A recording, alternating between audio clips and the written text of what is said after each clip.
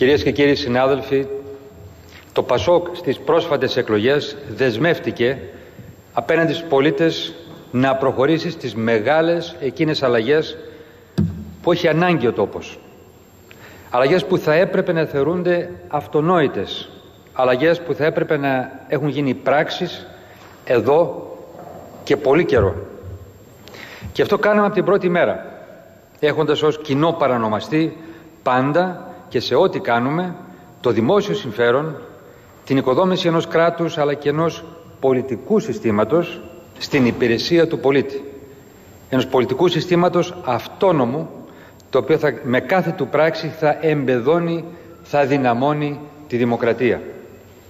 Μάλιστα στις συνθήκες που βρεθήκαμε με τη χώρα ακυβέρνητο καράβι να οδεύει προς το χείλος του γκρεμού αναγκαζόμαστε πλέον να τα κάνουμε όλα σε ρυθμούς πρωτόγνωρους για το πολιτικό σύστημα της χώρας. Γι' αυτό και δεσμευτήκαμε ότι το 2010 θα είναι η χρονιά των ριζοσπαστικών τομών και αλλαγών για την εκθεμελίων αλλαγή του πελατειακού κράτους το οποίο όλοι είδαμε να καταραίει και να απειλεί να παρασύρει τη χώρα στον κρεμό. Είχαμε δεσμευτεί για βαθιές αλλαγές μόνιμου χαρακτήρα, αλλαγές όχι για τα μάτια του κόσμου, αλλά που αντιμετωπίζουν τα προβλήματα στη ρίζα τους που κάνουν τη χώρα μας να γυρίζει, να γυρίσει σελίδα που ανοίγουν μια τελείως διαφορετική νέα εποχή.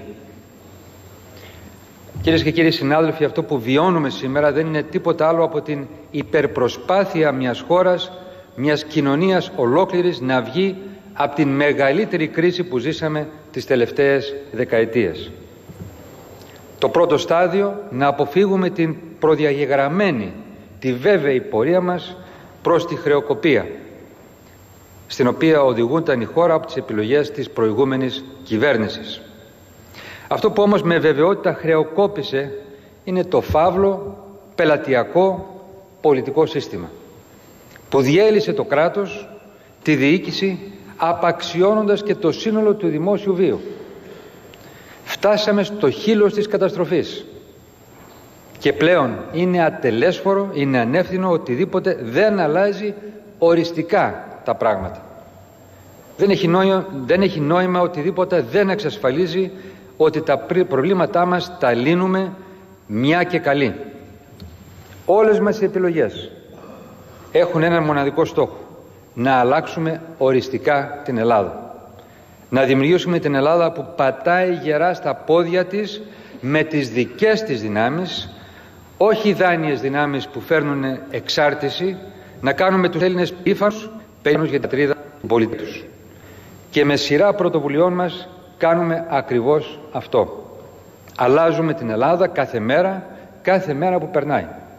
Με σκοπό να τη βγάλουμε από την κρίση, αλλά να την οδηγήσουμε στην ασφάλεια, στο δίκαιο, στην προοπτική. Ο Καλλικράτης, ο νόμος για την αξιοκρατία στις προσλήψεις στο δημόσιο, η δημόσια διαβούλευση για κάθε νομοσχέδιο και στη Βουλή και στη διαδίκτυο, ακόμα και οι εξαστικές επιτροπές επίπονες που στόχο όμως έχουν να πέσει φως σε σκοτεινές υποθέσεις που ταλανίζουν το πολιτικό σύστημα. Οι ανοιχτές πια συνεδριάσεις του Υπουργικού Συμβουλίου. Ο νέος φορολογικός νόμος που αποκαθιστά την οικονομική δικαιοσύνη καταπολεμά την φόρο διαφυγή. Ο νόμος του Υπουργείου Δικαιοσύνης για τη διαφάνεια με τον οποίο βάζουμε τέλος στις γκρίζες ζώνες της ανομίας στο δημόσιο τομέα με αυστηρότατες ποινές για υπαλλήλους που εμπλέκονται σε πράξεις διαφθοράς. Η ουσιαστική δουλειά των επιτροπών της Βουλής, όπως διαφάνειας θεσμών και διαφάνειας. Η ανάδειξη του συνήγορου του πολίτη ως βασικού μας συνομιλητή με την κυβέρνηση. Όλα αυτά είναι αλλαγές, άλλες μεγάλες, άλλες μικρότερες, που στόχο έχουν τη δημιουργία ενός κράτους που λειτουργεί υπέρ του πολίτη, προασπίζεται τα δικαιώματά του και δεν είναι απέναντί του. Αυτά και όχι μόνον έπρεπε εδώ και καιρό να γίνουν. Δεν έγιναν. Και η χώρα μας διολίστησε στην οικονομική κρίση και στην διεθνή ανυποληψία. Δεν θα ξεχάσω τους τελευταίους μήνες τον αγώνα που δώσαμε σε όλα τα μήκη και πλάτη της γης για να αποκαταστήσουμε την αξιοπιστία μας. Την προσπάθειά μας που συνεχίζεται μέχρι και σήμερα να βάλουμε τάξη στο χάος της ανομίας, της διαφθοράς, της πατάλης και να πείσουμε τους πολίτες και τους εταίρους μας. Τις προσπάθειες που κάναμε για να εξασφαλίσουμε τη δημιουργία και αργότερα τη χρήση του μηχανισμού στήριξης, να προστατεύσουμε τους πολίτες μας, τους συνταξιούχους, τους εργαζόμενους από τον κίνδυνο της πτώχευσης που θα έφερνε στη χώρα άνευ προηγουμένου δυστυχία, μαρασμό αλλά και ανυποληψία της πατρίδας μας για πολλά ακόμα χρόνια. Για να εξασφαλίσουμε τη μοναδική στα παγκόσμια χρονικά για οποιαδήποτε χώρα οικονομική στήριξη ύψους 110 δισεκατομμυρίων ευρώ και να μπορέσουμε να σταθούμε στα πόδια μας για να αναστηλώσουμε τη χώρα μας, να δημιουργήσουμε μια νέα Ελλάδα. Είναι αλήθεια ότι ακόμα έχουμε πολύ δρόμο μπροστά μας.